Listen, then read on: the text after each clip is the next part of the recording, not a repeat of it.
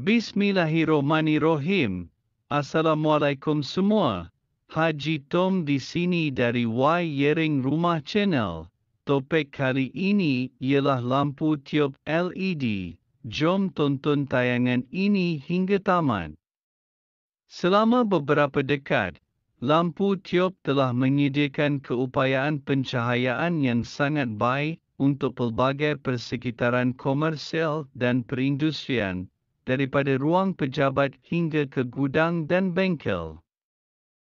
Fleksibiliti mereka adalah salah satu nilai jualan terbesar mereka kerana lekapan yang dipasangnya boleh digantung, digantung di siling jatuh atau dipasang terus ke permukaan siling rata. Selain itu, ia adalah murah untuk dipasang dan dikendalikan, yang apabila digabungkan dengan keluaran lumen yang kuat dan sudut hamparan yang luas, menjadikannya salah satu pilihan pencahayaan paling popular dalam industri pencahayaan. Secara tradisinya, lampu tiup ini adalah daripada jenis pendar fluor yang menggunakan teknologi pelepasan gas merkuriwap tekanan rendah untuk menjana cahaya apabila elektrik disalurkan melaluinya.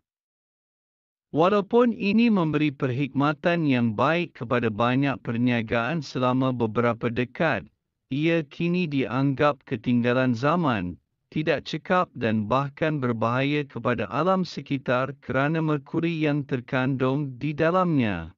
Apabila lekapan itu sendiri semakin tua, mereka juga memerlukan penyelenggaraan tambahan, seperti penggantian balas yang diperlukan untuk menyalakan lampu.